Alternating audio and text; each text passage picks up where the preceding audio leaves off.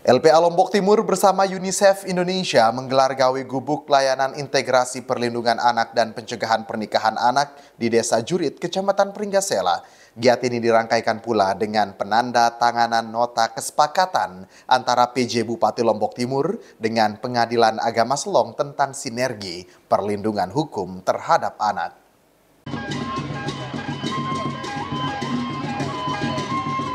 Berlangsung di SD Negeri 3 Jurit, Kecamatan Pringgasela, Rabu 11 September, melalui program Berani 2, LPA Lombok Timur bersama UNICEF menggelar gawe gubuk layanan integrasi perlindungan anak, pencegahan perkawinan anak yang dirangkaikan dengan penanda tanganan nota kesepakatan antara Bupati Lombok Timur dengan Pengadilan Agama Selong tentang sinergi perlindungan hukum terhadap anak.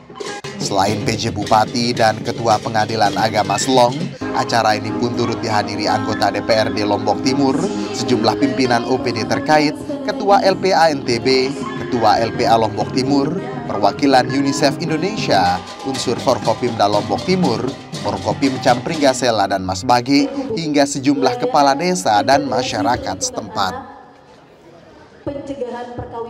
Ketua Pengadilan Agama Selong Muhammad Nasir mengungkapkan jika penandatanganan MOU dengan Pemda Lombok Timur ini dilakukan guna melindungi hak-hak perempuan dan hak-hak anak. Banyak kasus di Pengadilan Agama Selong seperti tahun 2023, yakni sebanyak 2.166 kasus dengan perkara perceraian yang diajukan baik oleh suami maupun istri sebanyak 1.373 perkara. Pada tahun 2024, Januari sampai Agustus jumlah gugatan cerai talak dan cerai gugat sebanyak 1.120 perkara. Di antara begitu banyak kasus ini, diyakini dapat menyebabkan perempuan dan anak menjadi korban yang harus menjadi perhatian bersama untuk bertanggung jawab terhadap kelangsungan masa depan dan hak-hak anak. Adapun data dispensasi kawin terus mengalami penurunan sejak 2021 dari 141 perkara menurun pada tahun 2023 menjadi 29 perkara dan Januari ke Agustus 2024 menjadi 10 perkara. Penurunan ini menjadi tanda keberhasilan Pemda Lombok Timur dengan LPA Lombok Timur beserta berbagai programnya untuk mencegah pernikahan anak. Pengadilan agama memiliki banyak aturan terkait perlindungan anak dan perempuan. Bagaimana caranya? Segala administrasi-administrasi terkait dengan keperluan si suami, mantan suami itu adalah harus di stop, tidak boleh diberikan selama dia tidak memberikan nafkah kepada mantan istrinya. Ini mungkin perlu kita bahas duduk bersama dalam rangka bagaimana kita melindungi perempuan dan anak itu sendiri sekarang ini karena semakin banyaknya dampak yang terjadi terhadap perkara-perkara cerai gugat maka kita sangat berharap adanya kerjasama lebih luas agar hak-hak perempuan itu dapat terpenuhi dengan dengan baik. Pejabat Bupati Lombok Timur Haji Muhammad Juani Taufik di depan awak media mengungkapkan jika banyak persoalan sosial yang akan terjadi akibat pernikahan usia anak. Untuk itu pada kesempatan tersebut ia berpesan agar semua pihak termasuk masyarakat bersama-sama menjadikan persoalan pernikahan usia anak sebagai permasalahan. Dengan tradisi gotong royong yang baik, gawe gubuk berperan untuk memberikan pemahaman agar pernikahan usia anak di bawah 19 tahun untuk tidak dilakukan.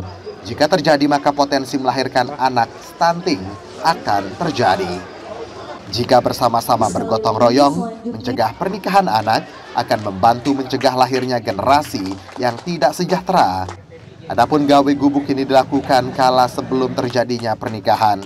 Sementara jika pernikahan tersebut terlanjur terjadi di luar kontrol, maka pemerintah akan melakukan advokasi untuk pasangan tersebut guna mencegah dampak buruk melahirkan di usia anak.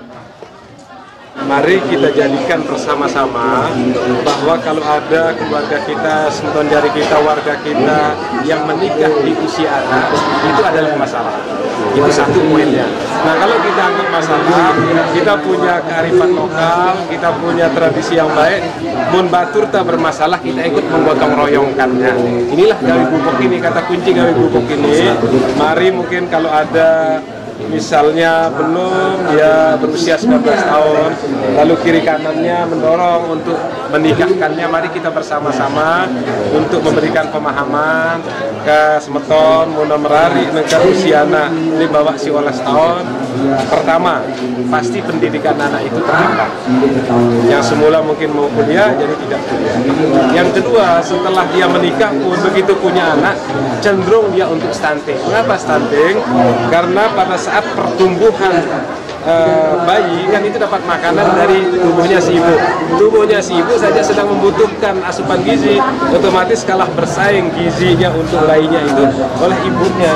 Makanya cenderunglah uh, panjangnya berkurang, tumbuh kembangnya berkurang. Yang banyak konsultasi dengan tokoh-tokoh agama kita uh, itu adalah pengamalan dari surat An-Nisa ayat 9 di mana dikatakan terjemahannya itu khawatirlah jadi Tuhan sudah mengingatkan kita untuk khawatir, untuk meninggalkan generasi yang lemah kesejahteraan. Itu poinnya. Karena kalau kita menikah di usia anak, kesejahteraannya akan lemah. Itu kira-kira ya. Bukan hanya penanda tanganan nota kesepakatan antara PJ Bupati Lombok Timur dengan Pengadilan Agama Selong dalam acara Berani Dua Gawe Gubuk ini, LPA juga mengajak berbagai OPD terkait seperti Disduk Capil Lombok Timur, Dinas Kesehatan, Dinas Sosial, Dinas Ketahanan Pangan hingga Dinas P3AKB dan Pengadilan Agama memberikan edukasi dan pelayanan bagi masyarakat setempat. PJ Bupati dan rombongan pun mengambil momen tersebut untuk ikut memberikan edukasi bagi masyarakat kaitannya dengan pencegahan stunting hingga pentingnya masyarakat tetap berkunjung ke posyandu. Suyut Saputra Bakti melaporkan.